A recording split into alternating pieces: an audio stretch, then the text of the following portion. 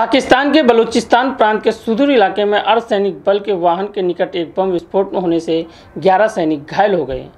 यह विस्फोट सीबी ज़िले के फ्रंटियर कोर के गश्त वाहन के निकट बुधवार को हुआ। घायलों में चार की हालत गंभीर है। अभी किसी संगठन ने इस हमले की ज़िम्मेदारी नहीं ली है, लेकिन बलोच अलगाववादी समूह पूर्व में इस प्रकार के हमलों को अंजाम दे चुके हैं, इसलिए उन्हीं पर शक जताया जा रहा है।